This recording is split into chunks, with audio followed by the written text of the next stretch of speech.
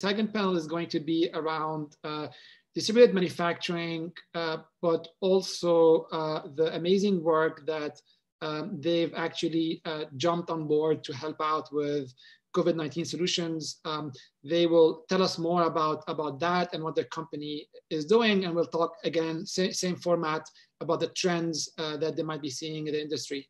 Um, so what, we're gonna start with uh, Marcelo. And where, what I did at the Media Lab and where I came from and what I've been doing since, and then uh, and then in particularly focusing on the work that we've done at Formlabs for this sort of last uh, two weeks. Um, so let me just kind of jump straight into it. So um, so at the Media Lab, I worked on um, sort of intersection of materials and human-computer interaction. Uh, did a lot of work looking at ways to create the sort of computational composites where you combine the sort of electrically active materials with uh, electronics.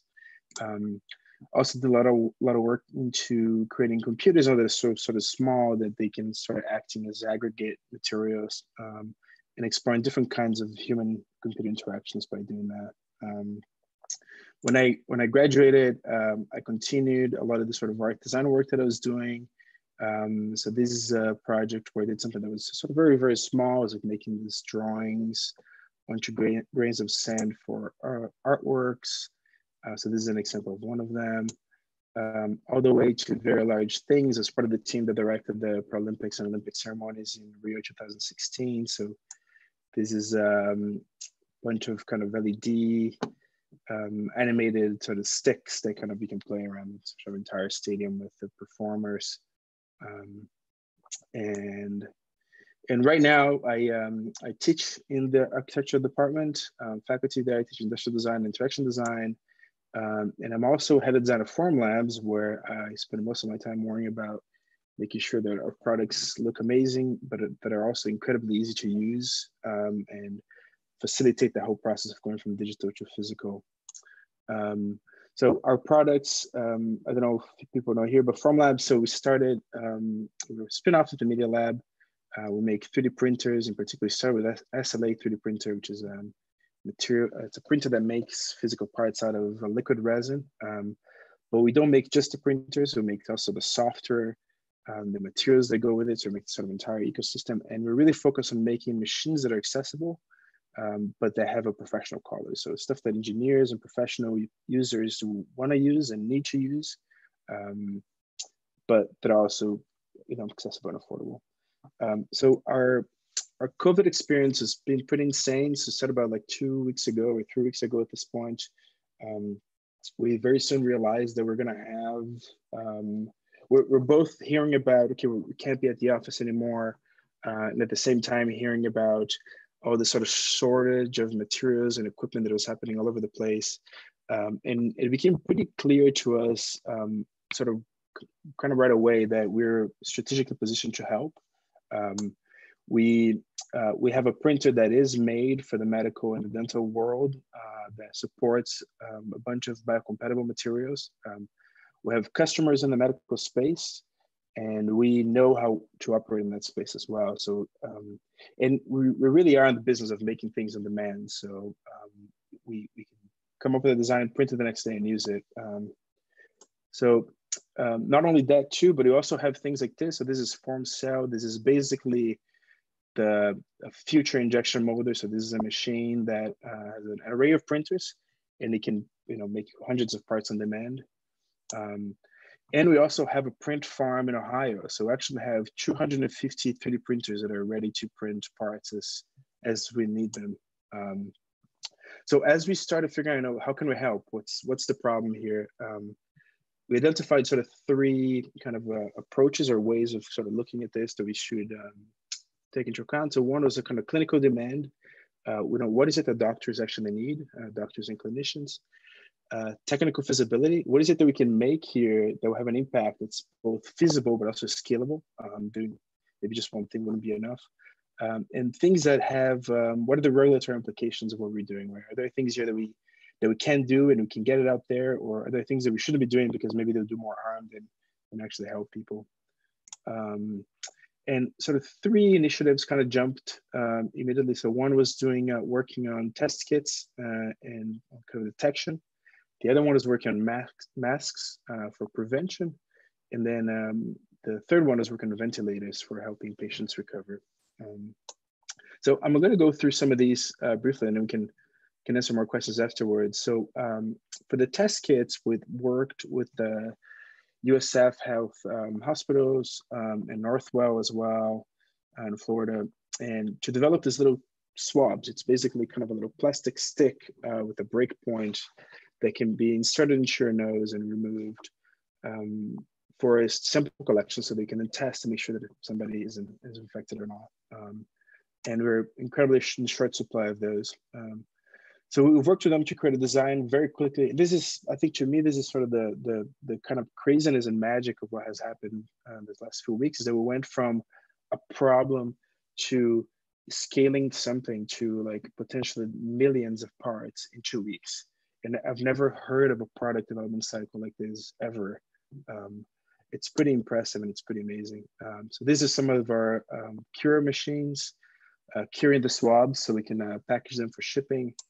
Um, and this is a little, uh, this is a package that you can put the swabs in and put into an autoclave for um, sterilization. And the sterilization part happens at the hospitals when they receive it. Um, the other effort that we're helping is this one. So this is making uh, snorkel mask adapters. Um, so there's a team called Mask On that have been working with physicians here in Boston to basically create, you can see on this photo, so this is a snorkel mask. At the top of it, there's uh, this little adapter that connects to kind of a generic filter that you find in a hospital kind of breathing circuits. And that basically extends the ability of using more filters and um, also using a mask that's kind of sort of full compliant to the face and it really protects physicians. Um, this is Alex testing the some of the first tests and prototypes that we're doing. Um, those those guys are the real he heroes in the story. They um, we've been working on daily, kind of testing designs, uh, 3D printing, making changes in it over and over again until we get this right. Um, and um, we, we're now started scaling this. So uh, we've been printing um, like hundreds of these already uh, and starting to assemble them together. Uh, we probably have, you know, uh, and I say we, I'm talking about MaskOn in this case, we're working with them. Uh, it's a sort of a self-organized group of engineers that are local. And they've probably bought the entire supply of snorkel masks, the entire planet at this point, I think. Um, and then the final one are ventilator splitters. Uh, this is an option that we're still looking into, uh, but there are physicians um, around the country that are using our products um, to create ventilator splitters. There's some debate right now if that, that's a good idea or not. There's some risks to doing this. It's not really proven technique, but I, I think people are getting really desperate and they're kind of resorting to the solutions.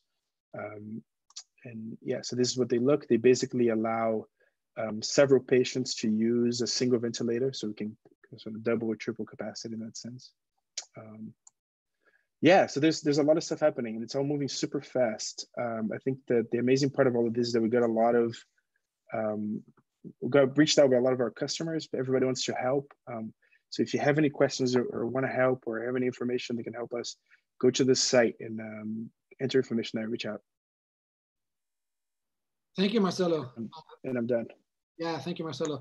This is great, um, and and it's it's actually um, extremely inspiring and impressive to see um, the Media Lab community jump on board uh, on a number of different projects, the swabs, the shortage of swabs, the shortage in um, masks, PPEs with Brigham and Women, uh, and and it's also on this particular call we have you know uh, three companies were actually jumped on board and and next after uh, uh Marcelo I'd like to ask for um, uh, Rony uh, to join in. Uh, and Rony, um, you know, from Tulip, who uh, many of you know, has been also empowering, um, you know, the underlying um, tool that have been making all of this possible at scale. Um, so Rony, to you.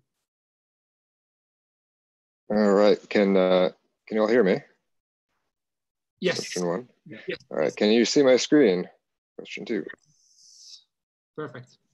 All right, great. Um, so let me kick this guy off.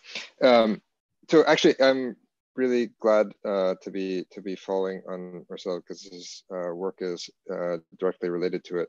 Um, so uh, I'm Rony. I'm uh, uh, co-founder and CTO of Tulip. We are um, a spinoff from the Media Lab, about five five years old. The I'm going to go fast through this. Uh, many of you already already know us. Basically, we are a uh, software company for supporting the manufacturing industry. Um, and what that means is we make a tool for manufacturing engineers to create uh, their own applications for the shop floor. Um, it's a it's a no code environment. You can build logic and uh, and like into these applications. These applications are connected to the physical world. Um, and to different uh, existing IT systems within the manufacturing environment. Um, and the execution of these applications lead to uh, different forms of analyses that allow you to uh, optimize the system and basically close a, a feedback loop. Um, uh, so I could talk at length about that, but uh, focusing on our work within the manufacturing community uh, during the current crisis, there are two, two key things um, that we're doing. One is that, uh, you know, if you are a manufacturer who is doing anything related to uh, COVID-19 mitigation or PPE or the like, we want to help uh, and basically provide um, tool support both in terms of software licenses as our team in order to um, help in the deployment of that in ways to scale uh, scale effectively. Uh, there are a couple of things I want to talk about um, that are sort of examples of things that we are we are currently working on. So um, one of them, the this is the same that that Marcel with masks on to build these uh, adapters um, for snorkel masks um, as a durable form of personal protective gear, um, it, given the current uh, shortages of uh, N95 masks. Um, what's uh, interesting about this, uh, in particular, they're also, uh, I'll show you here, they're also working on, um, on face shields as another example of something, uh, components that can be 3D printed and then distributed. The, the tricky thing is, is that now this grassroots effort has um, you know, brought together uh, companies and individuals uh, throughout the United States. But how do you manage this uh, entire distributed manufacturing process, supply chain, and distribution uh, from when you sort of have nothing to to to start from? Uh, and this is really a logistically challenging problem. What you're seeing here, this is uh, in an office here in the seaport or I believe this may be in, in Alewife here in Boston, of this is on the order of a thousand of these masks uh, ready for production, assembly, test, and then finally uh, distribution. Um, so kind of what you have is, uh, you know, this is a, a group that had uh, effectively zero IT to be able to handle all of this and get from the combination of the off-the-shelf components, the masks themselves, the uh, 3D printed components. So these are the adapters that fit onto the, the end of the snorkel and then connect to uh, hospital standard um, fil filtration. Um, connect those into an assembly process with, uh, connect those with volunteer couriers um, to bring them to the assembly centers where you do a QA, you have a traceability of, uh, of of these equipment that's get made, and then finally connect them to the demand side and courier them to clinicians um, in in need. Um, so this system, uh, you know, uh, a real shout out to uh, my team and especially uh, Mark Friedman, who basically did not sleep for four days um, and uh, built out a full basically built an ERP and Uber in in Tulip over the course of uh, over those four days. Um, and this is a combination of different applications, uh, mobile applications that are used by couriers, uh, a, a, tool for kind of the master distributor or, or coordinator, um, as well as on the line um, uh, applications for the uh, you know, final uh, final assembly where you're, you know, creating a serial number that's going to be attached to these um, uh, to these to these products, um, and then getting them uh, out the door to uh, to to the clinicians who who are in need. Um, so, kind of like as a as a high level overview, this is kind of like a level of the sets of applications and integrations that um, are are tied in here because you have um, other you know, web forms that clinicians are using to you know, generate the demand. Um, then these orders are getting distributed, et cetera, um, and, then, and then finally shipped out. So uh, it was actually today that the first product was delivered end to end with Tulip. This was a set of uh, face shields uh, made in New York and distributed to uh, uh, via courier to a local uh, New York hospital. Um, and we are assembling today um, here in Boston um, a large batch of these thousand uh, devices uh, for distribution, uh, both locally and in, and to New York and, and other places.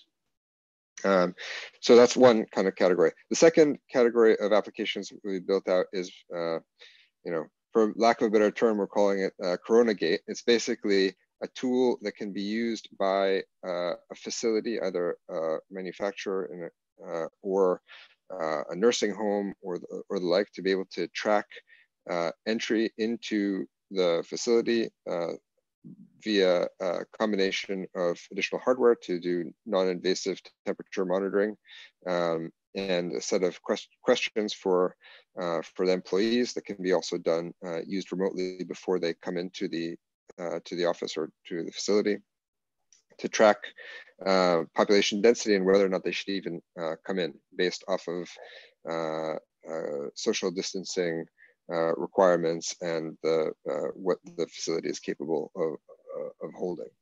Um, and so like, likewise, here's another uh, element of, uh, of this application um, where it's actually at the gate uh, temperature screen that, that occurs at the, the entrance. We had earlier versions of this, uh, which also included all sorts of uh, uh, tracking of travel and making sure that you if there was any outbreaks in places that you had traveled to, that is no longer relevant now that it's everywhere, unfortunately. Um, but if you are a manufacturer and if you uh, are involved in any kind of efforts here, please uh, email us. We would, we really would like to to help. Thank you, Rony. It's awesome as well to see um, how fast the team has jumped on board and built solutions, obviously leveraging technologies that we've been working on, thinking about for a long, long time. Awesome to see that. And it's, um, you know, it's, it's one of the key secret weapons of startups, being nimble and pivot and really find opportunities. And in this particular case, a big part of the solution uh, versus re relying on waiting on big uh, supply chains and big and you guys are have jumped on board very quickly. We'll, we have a bunch of questions for you as well, Rony. But first, we'll, we'll last actually, but not least, we'll go to Jifei and hear what OPT is up to and what they're doing also in part of the response to COVID. Okay, can you hear me? Yes, Jifei. Yeah. All right. Uh, so um, I'm gonna share my screen now. Oops, hold on a second. To share share screen first. All right, I think you should be there.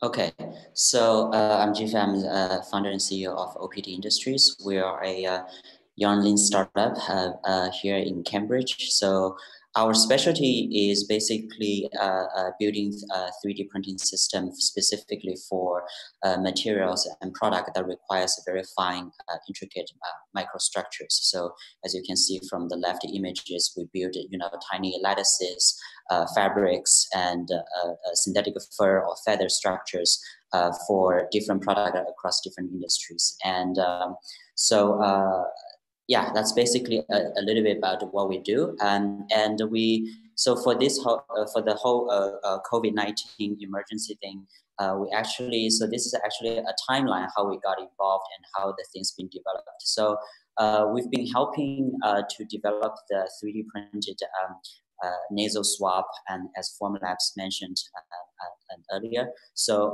we're also um, um, basically making parallel effort on that. So we got a, a design brief uh, from uh, Beth Israel Hospital uh, on 20th, which is uh, last last Friday.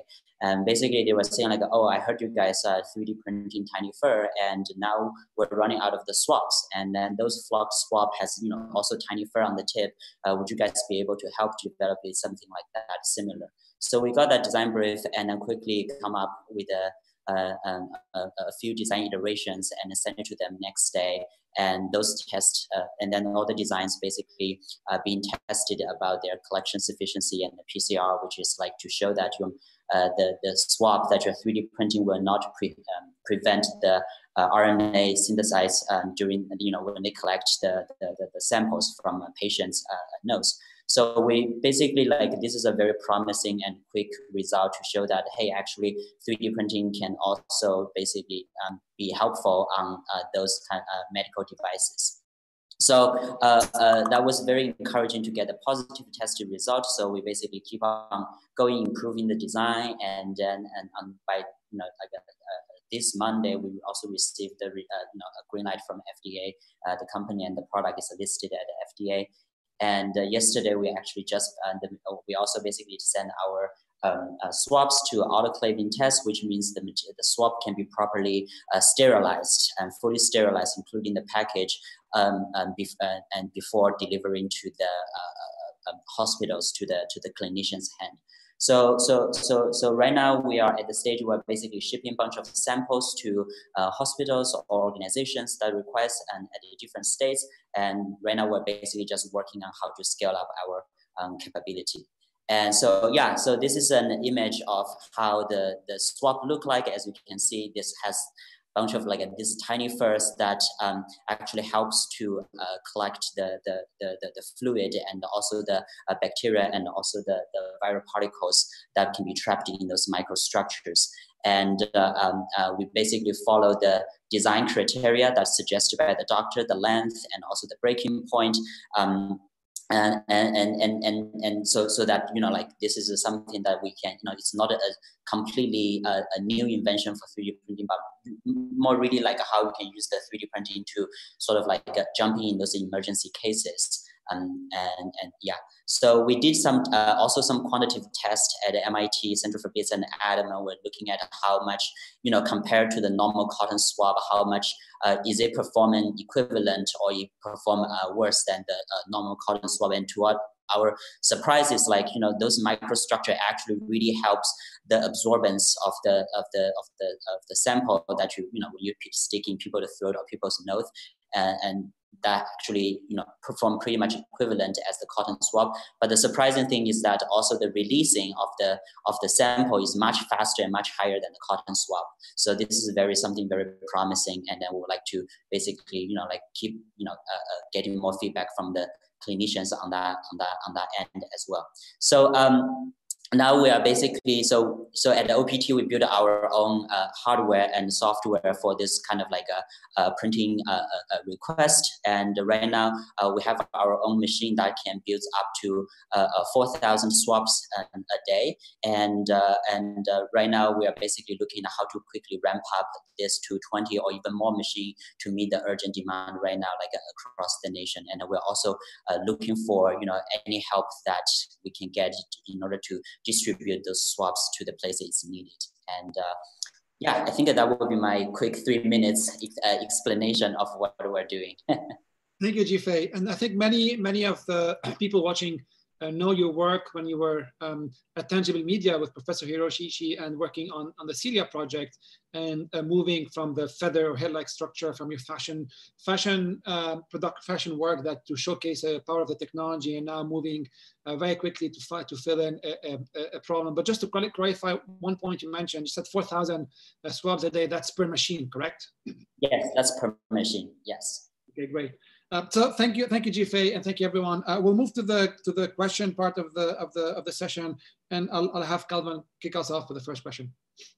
Thanks everyone for sharing. Uh, very inspiring um, and exciting, um, and amazing that you were able to accomplish so much in just a short order of a couple of weeks. But through this process, I was wondering, what do you think are some of the maybe stress points or bottlenecks, maybe the opportunities for most improvement through this uh, manufacturing that you've experienced in these couple of short weeks? Um, I can maybe jump in quickly. Um, human communication, I think, was the biggest bottleneck.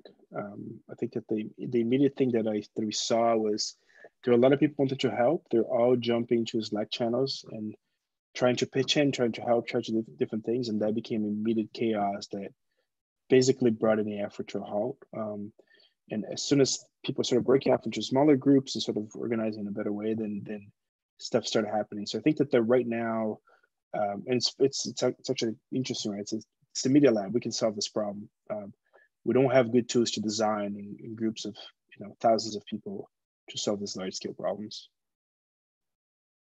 And I guess this is where also a tool like Tulip, uh, which came in later on as well, could help a lot with normalizing that communication. Is that right, Rony? Can you speak a bit to that and how you and how you see solving or being part of the solution there? Yeah. So I want to echo Marcelo here. I felt like uh, you know things really kicked off in the last several weeks. It's like the most global networking extravaganza I've ever been part of, right? Where everybody wants to connect to everybody uh, right now to do something. Uh, and it's great to see like uh, so much energy and, and, volunteer for it.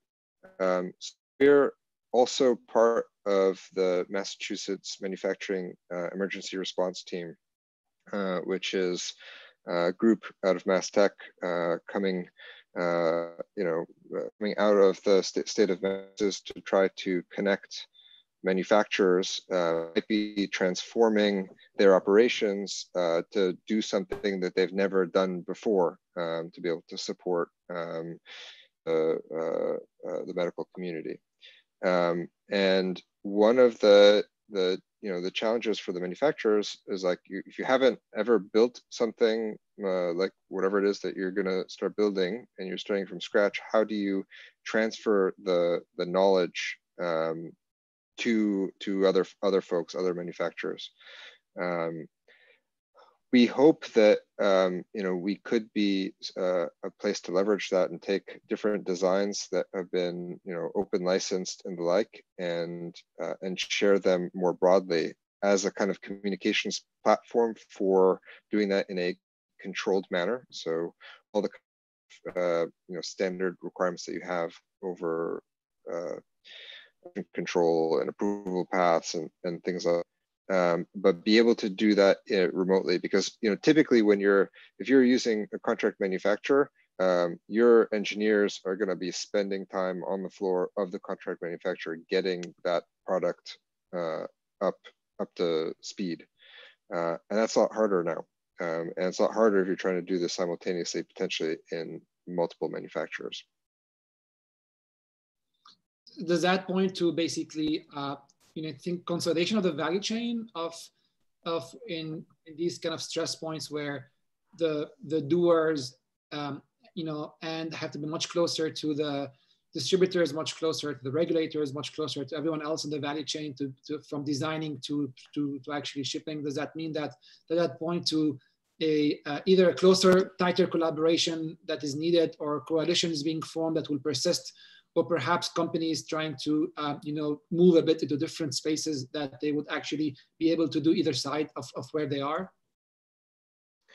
Yeah i think well the things like regulations that you bring up is like something that is it's a moving target um, daily uh, you know uh, fda is approving new emergency um, uh, grants basically and new new measures to uh, speed the process by which we're getting stuff to market. And I think that, you know, going back to kind of the communications tools, uh, there, I think one of the things that I'm I'm seeing, for example, at the Mass ERT, is there's like a dedicated group that's tracking all of these and helping to push all that regulatory information out to manufacturers that you know may not have that effectively natively within their their organization.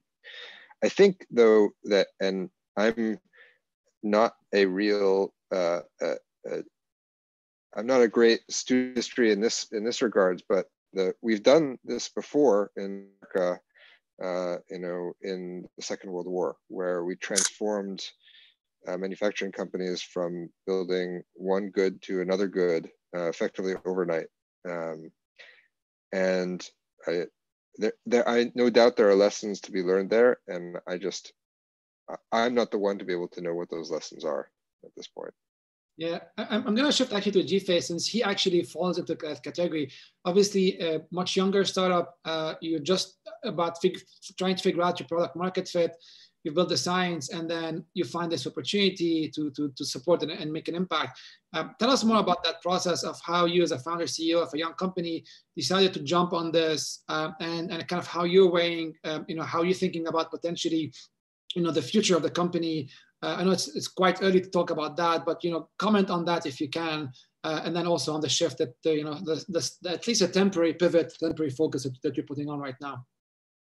Yeah, um, I think you know, like to be honest, Habib, I think you know because everything happens so fast, and I, I, you know, I haven't got a really time to really reflect, you know, the whole experience thing. But some quick thought is that um, I do think when we first, because you know, like in the very beginning when the when the emergency happens, right? Like uh, internally, we also talk about, you know, we are a 3D printing company. You know, you know the, the, the power of 3D printing is you know manufacture on demand. Can we actually do something about it? And uh, can we basically print you know like a, a, face shield or some other things that can help with the with the with the personal PPE thing, right? It's like it's but but it seems like a pretty um, uh, we are doing the 3D printing, but we're actually pretty specialized on one direction of the 3D printing, which is more like a fabric textile like 3D printing.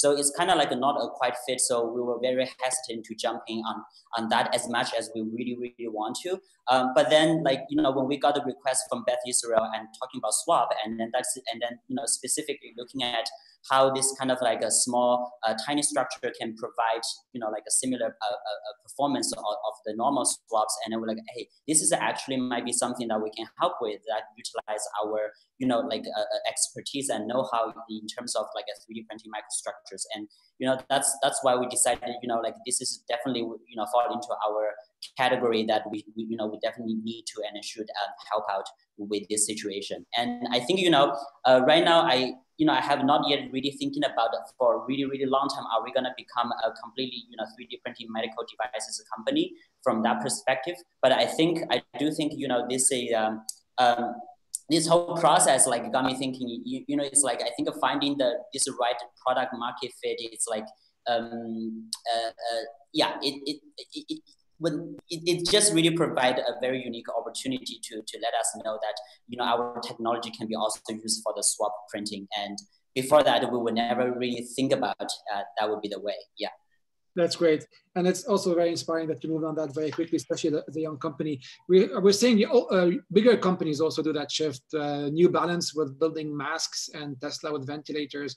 So it's not just young companies that are jumping on board, but obviously with bigger companies, it might be tougher to think about that, about the all, all that's involved.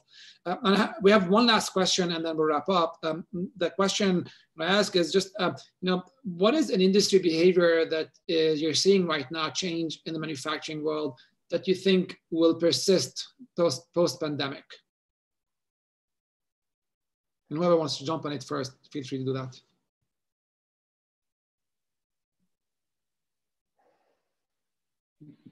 um, I, can maybe start. Um, I think I think one of them is this idea that you need. I mean, so so I think there are many things right that sort of got challenged. One is the idea they need a factory in the first place. Um, I think that we what we've seen is like people jumping from all over the place with their own printers, ready to make things. Uh, if we create the technologies to engage everybody and enable everybody, then they, the way that we think about manufacturing completely change. Um, you know, you can send designs, share designs, print it, test a prototype, and I think that that will completely change the, the ecosystem of how we work. Um, and it, has been it's been pretty amazing to see from Formlabs customers engage that way, and I think that they will continue to see that moving forward. Thanks, Marcel. Rony, you want to comment on that? Um, I, I, I think, you know, I think after this, maybe one of the things that people would definitely rethink about is this uh, idea of the efficiency and the re resilience, right? I think right now we all basically uh, the whole manufacturing industry is built on this paradigm of higher efficiency.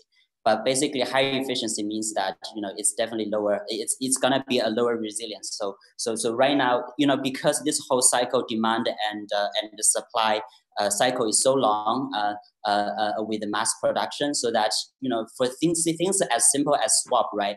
like every year, this the, a swab company probably will basically fix producing at a certain amount, not because they cannot produce more, but because if they produce more, there will not be demand. But when things like this emergency happens, there's a spike of the demand, how the manufacturing can be more resilient and responding uh, rather than just maximizing for the efficiency. And I think that that would be definitely something the industry uh, will think about more uh, even after this pandemic. Yeah, and to comp to complement those uh, those great comments, I would say that there's a you know a place for kind of systems for a, a, a marketplace to connect these distributed manu manufacturers um, from you know ways to maintain uh, quality and um, and the like so that as an end customer you really don't have any idea if it's coming from a factory next door to you or from across the world you're going to get uh, the same the same quality goods yeah like even the idea of like a national stockpile right now seems crazy it's like why do we have a stockpile this seems this seems like a problem we should have it everywhere everybody should be able to scale up what they need. Um, and I, and I, I keep thinking that like in the future, in the future, I mean like next month, I think every hospital should start building their own 3D printing manufacturing lab so they can scale things as they need.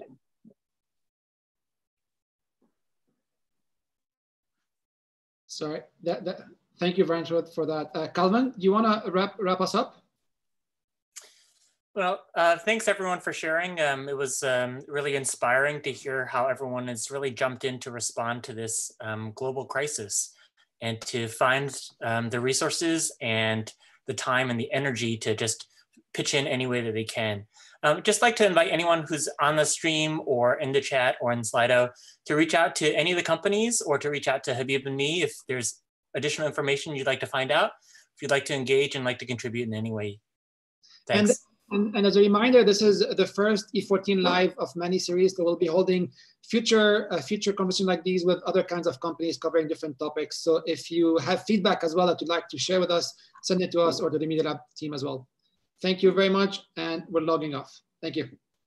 Bye. Bye, guys. Thanks.